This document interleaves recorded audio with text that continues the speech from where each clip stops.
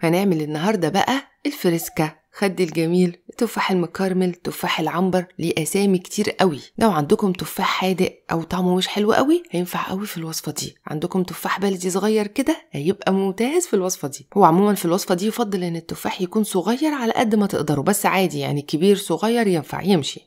كل ما كان أصغر كل ما كان أسهل ويعمل معاكم كمية كبيرة. بغسل التفاح كويس وبشيل العنقود بتاعه لو موجود أو طويل أو ظاهر يعني أو واضح وبجيب بقى إيه خشبتين من خشب الشيش طاووق وبحطهم في التفاحة بالشكل ده. تاخدوا بالكم وانتوا بتحطوا الخشبة إيديكم تبقى في الجناب مش تحت علشان ما ينزلش لتحت ويعوركم. فناخد بالنا بس من الحتة دي. ولو التفاح مش بيقف يعني وقفة معتدلة كده تقدروا تشيلوا منه حتة وتسووه من تحت علشان يقف معاكم مظبوط. بالشكل ده ونجهز بقى العسل بتاعنا هنحتاج كوبايتين من السكر سكر الشاي العادي وهننزل عليهم بنص كوباية أو زيادة حاجة بسيطة عن النص كوباية يعني معلقة بس زيادة من المية. نسيبهم على النار أول ما يبتدي يغلي نديله تقليبة ونديله عصرة ليمونة أو ربع معلقة صغيرة من ملح الليمون. ولو عندكم عسل نحل أو عسل أبيض يعني حطوا معلقتين كده أو ممكن معلقتين من عسل الجلوكوز ده لو موجود. مش موجود خلاص من غير عسل خالص.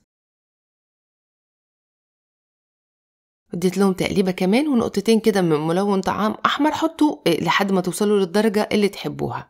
هو المفروض بيبقى لونه أحمر كده.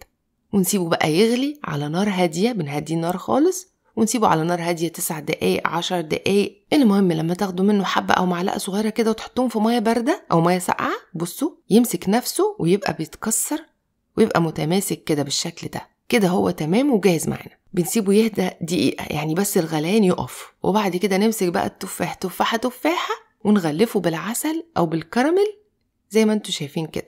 ده تفاح مكرمل بيأكل بشكل رهيب.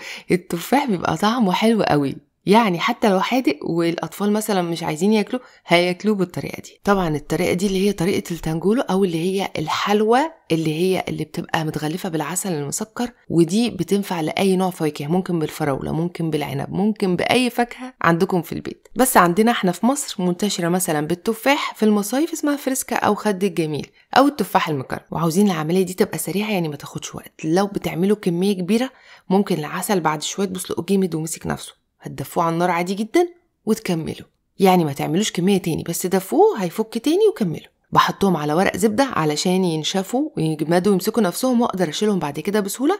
وهو سخن زي ما هو كده بحط عليه إيه من فوق ورقتين نعناع كده عشان يدي شكل بس مش أكتر. وكده بقى جاهز معانا. عشان بس نحافظ عليه وما يجيش عليه حاجة بنغلفه إيه بنحطه جوه اكياس كده أو نغلفه كده بالشكل ده. تحطوها في فازة أو حاجة لو في حفلة في عيد ميلاد في مناسبة حلو قوي هيعجبهم قوي. هو بس محتاج سنان محتاج صحة. أو هو ممكن يتمص ويتقطم كده كمان. طعمه حلو بيأكل حتى لو التفاح طعمه حتى مش مسكر ودي ميزة. وفكرة جديدة ولو هما بيشبطوا فيه تقدروا تعملوه في البيت. وبس كده أتمنى إن الفيديو يكون عجبكم. ما تنسوش تجربوا الوصفات اللي رايكم فيها ونزلوا تطبيقاتكم على الجروب بتاعي على الفيسبوك. وأشوفكم إن شاء الله المره الجايه في فيديو جديد.